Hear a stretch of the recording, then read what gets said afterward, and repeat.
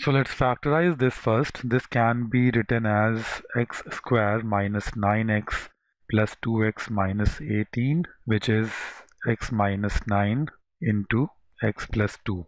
And if you have seen the inequations video, you would be aware of this concept. One node is positive 9, the other node is negative 2. The value of the expression is going to be positive on the rightmost side and then alternately negative and positive. So what is the probability that the resultant value is negative? The value is negative between 9 and minus 2. So at minus 2 and 9 the value is 0. So between these values minus 1 to positive 8. So minus 1 0 is are 2 values 1 to 8 are 8 more values. So in all there are 10 values and 0 to 15 is the range that we have to consider. So we cannot consider all the 10 values. We have to consider the values that lie in this range of 0 to 15. So 0 to 15, 0 to 8 in this range, which are 9 values, represent the favorable cases and uh, total values are 0 to 15 0 to 15 remember is is not a set of 15 integers. It's a set of 16 integers. So the answer is going to be 9 out of 16 don't worry about this. That's just a